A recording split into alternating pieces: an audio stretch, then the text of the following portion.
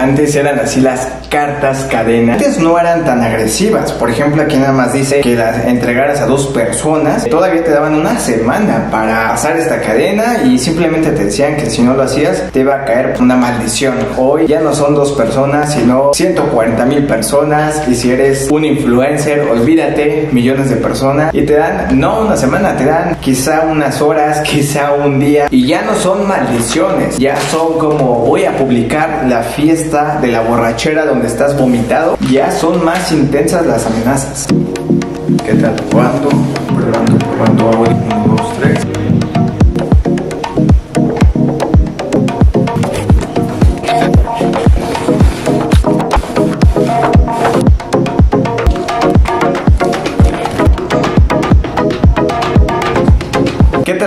¿Cómo se encuentran el día de hoy? Bienvenidos a un nuevo video del Search. Espero que todos y todas, que todos sus familiares se encuentren bien. Si ustedes recuerdan, hace ya algunos años se solían escribir cartas simplemente para decirle a esa persona que la estimas. Y bueno, era una manera que hoy en día se ha perdido. Todo es a través de mensajes de texto, de emojis, todo es totalmente digital. Y yo tengo la fortuna de que guardé desde hace muchos años todas estas cartas. Y bueno, el día de hoy quiero mostrárselas a todas y todos ustedes, recordando un poquito de esos viejos tiempos que quedó plasmada en estos papeles. La verdad es que tenía bastante pegue. Hoy en día ya no lo tengo tanto. No sé si lo ven ahí.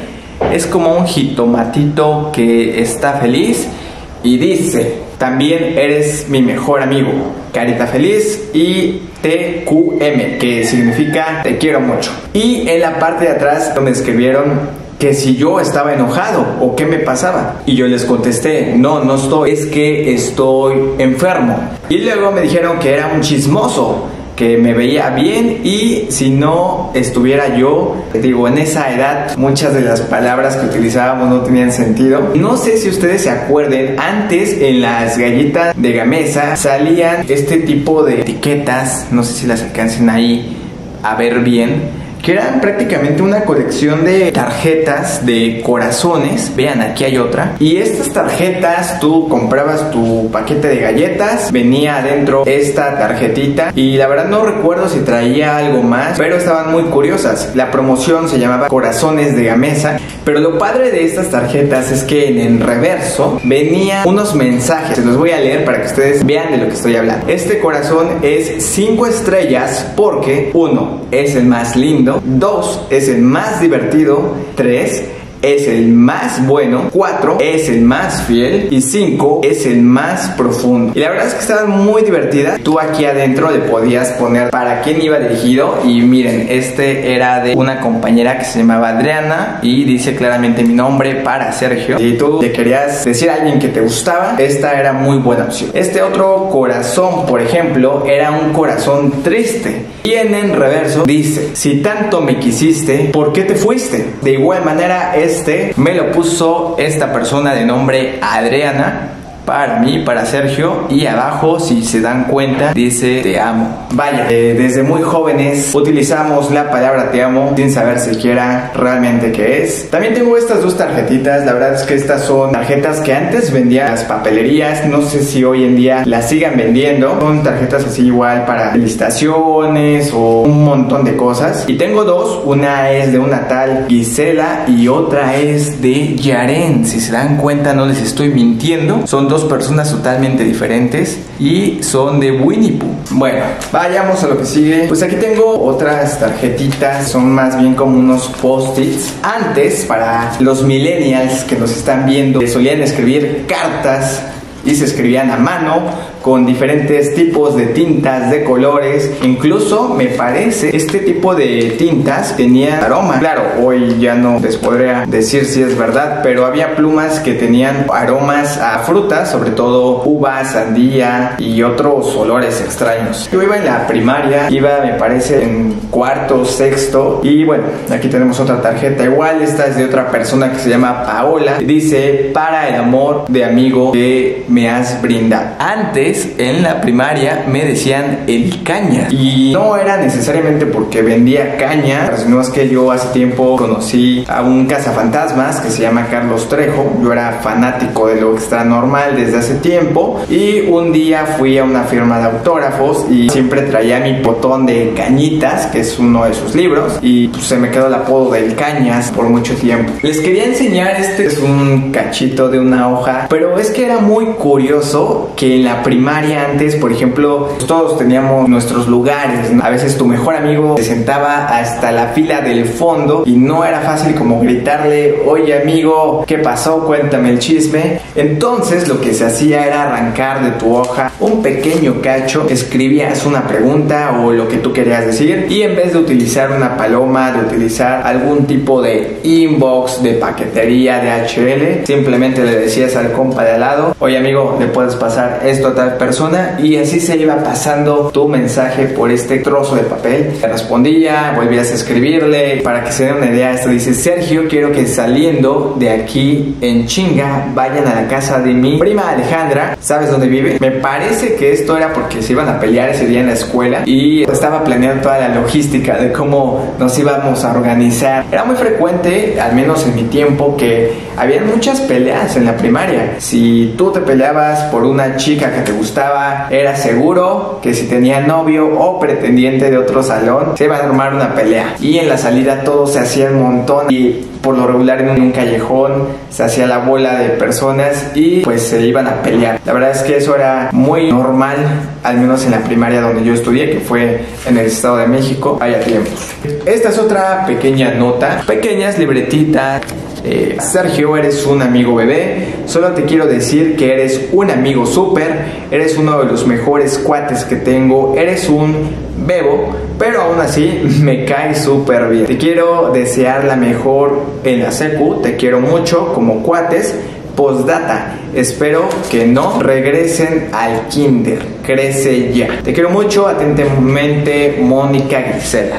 Y vean, este es un paisaje y tiene ahí su arbolito, su suelecito, la nube, el Popocatépetl. Dice para Sergio, y si se dan cuenta, y la persona yo creo que se arrepintió de algo, tiene en la parte de aquí arribita corrector de lo que era un corazón de amor. Tal vez se arrepintió y como que lo quiso borrar. Pero lo vi, lo vieron todos. Esto es un deseo, dice Sergito. Te deseo de todo corazón que tengas una feliz Navidad, que la disfrutes con tu familia en bienestar. Por si no lo sabes, yo soy la que da su opinión a Vanessa de todo lo que te escribe. Feliz año nuevo. Esta no tiene de quién es, pero estaba diciendo que todo lo que Vanessa me estaba escribiendo a mí eran ideas de ella. Vean nada más, vean los detalles de esto. No sé la verdad si fue calcado, si realmente se hizo a mano, pero es un muy buen detalle, es un muy buen dibujo y además está bien coloreado. Dice amigos por siempre y tiene estas abreviaciones de cemento. ¿Y saben qué quiere decir cemento? Como eres muy especial, nunca te olvidaré.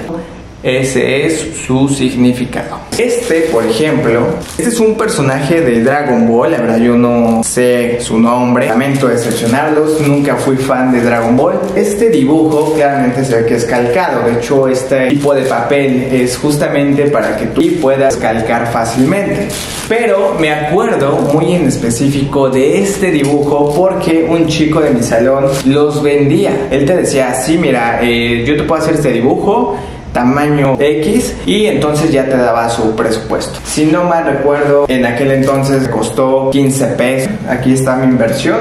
Vean, el perrito pues extraño, ¿no? La verdad no sé si sea de algún programa de caricatura, pero está muy chistoso. Y lo que está escrito está aún más bonito porque dice, Sergio, aunque no nos hablamos, te quiero decir que siempre me vas a caer bien. Y espero que tú nunca cambies y que nunca me olvides. Que te vayas súper en la secundaria, que tengas muchos amigos y novia. Qué bonitos deseos. Esta carta que tengo aquí me da mucha emoción enseñárselas. Esta carta era la contestación de una chava que me gustaba, se llamaba Laura, y yo pues le empecé a hablar un poco, pero ella me había contado que tenía novio, y bueno, eso me rompió el corazón. Yo le escribí una carta y le fui muy sincero, le dije que ella me gustaba y que me diera una oportunidad, pero ella muy amablemente me hizo esta carta. Dice, Sergio, solo te escribo para decirte que en el poco tiempo que te conocí, te me haces un chavo genial y me gustaría llevar una muy buena relación contigo, pero como amigos. Y aunque siento que casi no me conoces bien, porque no te he hablado mucho de mí, y entre esas cosas es que soy algo negativa y muy insegura, también quería decirte que vales mucho y eres una gran persona. Lo que me gusta de ti es que tenemos algunas cosas en común y tu forma de ser y de pensar. Eso es todo por mi parte, ya que soy alguien de pocas palabras.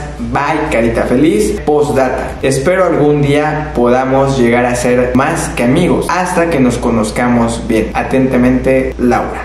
Y hoy por hoy no sé nada de Laura.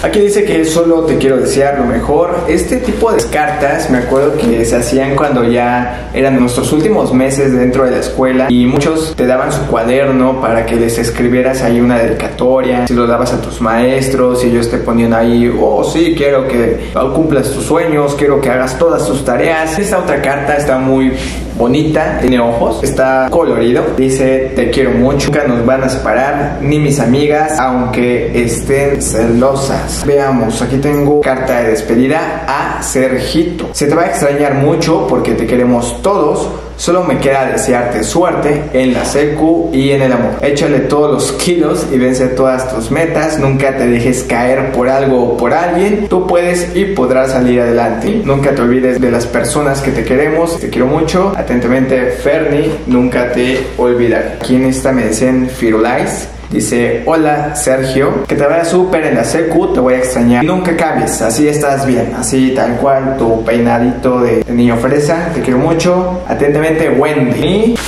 vayamos con la que sigue. Pues esta es muy corta, si se dan cuenta, no le echaron ganitas, solamente dice te quiero mucho, siempre podrás confiar en mí, una niña que te quiere mucho. Vaya, esta sí es bastante larga, esta definitivamente no la voy a leer, pero vean la letra, así como que bien parejita, tamaño perfecto, espacio perfecto. Hoy en día la verdad es que ya nos vale como escribimos un mensaje de texto, confiamos en el autocorrector pero antes, por ejemplo, si se dan cuenta, sí, sobre todo las niñas eh, se esmeraban en ponerle diferentes colores a las cartas, ponerles márgenes, ponerles algún tipo de detalle, dibujo, sticker. Hoy en día ya es bien raro de verdad que si alguien tú le quieres decir algo, le envíes una carta. Por ejemplo, yo tuve la fortuna de que una persona me mandó una carta hasta mi casa a través de correos de México y fue muy bonito recibir ese detalle de hecho venía con un libro que me gusta mucho de Mario Benedetti y la verdad es que es algo bien padre porque es algo muy chapeado a la antigua. Ustedes tienen la oportunidad un día de enviarles una carta a sus papás, a su novia, a su novio, háganlo, es un detalle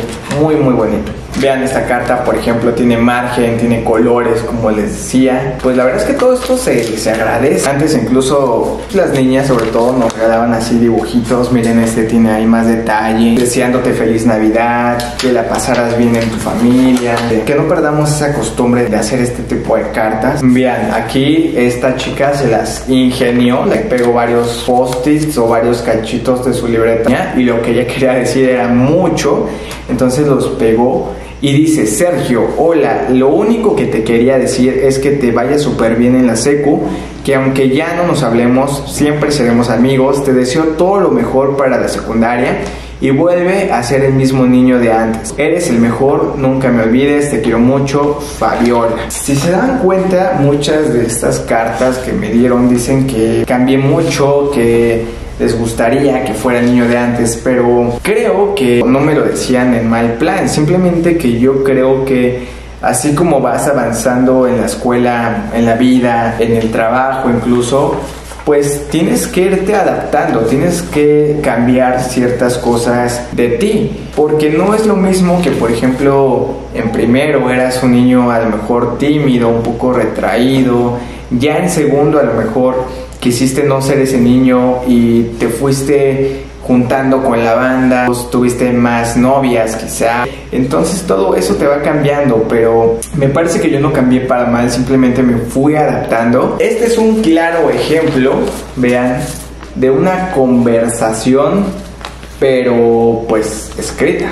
Antes las conversaciones eran así, si se dan cuenta, pregunta-respuesta, pregunta-respuesta. Hoy en día esto sería el correo de Gmail, de Hotmail. Esto era lo que era antes, cuando no había todavía internet, variedad de correos electrónicos, había mucho Nancy una muy buena amiga. Saludos a mi amiga Nancy si es que ve este video. Tenemos esta otra que dice felicidades de Lupita para Cañas. No es por amor, sino para felicitarte y que te pases un muy buen día. Vean nada más ese pastelito que viene ahí. Se ve antojable. Un pastel que nunca encontrarás en ninguna pastelería. Esta sí recuerdo de quién es. Vean este tipo de carta muy, muy bien detallada. Tiene hasta su dibujito vean la tipografía, vean toda acá las ganas que le pusieron. Y por acá tenemos esta otra que ya por los años se ha roto. Y esta es una carta que dice, antes que nada deseo hayas pasado un estupendo día. No creas que lo olvidé, solo esperaré a verte para desearte una gran felicidad, dicha y mi eterna amistad, pues la tendrás no solo hoy, sino hasta siempre. Una pequeña frase, en la vida no basta comprender, es necesario amar y ayudar a los demás, así como trabajar. Son mis mejores deseos atentamente, Daniela. Y quise dejar estas cartas al final porque son de una persona que hoy en día es mi amiga de la primaria, pero sus cartas la verdad es que están muy bonitas. Esta chica era de las mejores de la clase, es muy lista y vaya que de verdad para su edad tenía una manera de pensar muy bonita vean sus cartas, vean su letra, vean el color y las estampas que le que tiene. Ya no aguanto lo que siento y no puedo fingir más. Sin tu amor me estoy muriendo. Baila con mi soledad. Hice todo por no amarte, pero escapé de esta pasión. Imposible es olvidarte. Hoy necesito tu amor. Sin rumbo yo estoy perdida. No puedo disimular. Yo siento, amigo mío, yo lo siento, te lo tengo que contar. Desde que te vi, todo es tan distinto para mí, porque tu corazón vivirá siempre en mí. Desde que te vi, supe que era solo para mí, que mi vida eres tú desde que te. Está muy bonito, ¿no? Decirle a alguien que te gusta de esta manera. Aunque un día nos juramos ser amigos hasta el fin, hoy me animo a confesarte lo que yo siento por ti. Día a día me pregunto que le digo al corazón que se siente abandonado, derretido por tu amor, sin rumbo yo estoy perdida, no puedo disimular. Yo lo siento, amigo mío, yo lo siento, te lo tengo que contar. Desde que te vi, todo es distinto para mí. Hoy en día no vivimos juntos, no es el amor de mi vida, pero se agradece. Es muy bonito recordarlo. Es de Diana.